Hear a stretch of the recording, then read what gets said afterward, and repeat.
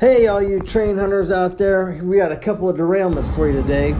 This one here happened over at Rattlesnake Point in South Tampa. We watched the guy come right off the tracks. There was work being done earlier uh, by some City Tampa uh, workers, and we think that that may have been, a contributing cause of this derailment. Um, there, train the rail cracked right there. You can see came right off there's some big chunks of asphalt missing.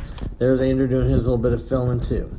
Now this one, this one happened over by the Uceta or Yeoman Yard. I don't know which one it is, but uh, we took some of the pictures from Orient Road, um, the bridge that goes right over there, and we took some of them from the 78th Street a little park that's over there. But just look at the devastation that's going on with this. I mean, absolute carnage. I'll just shut up and let you watch the rest of it. Take it all in.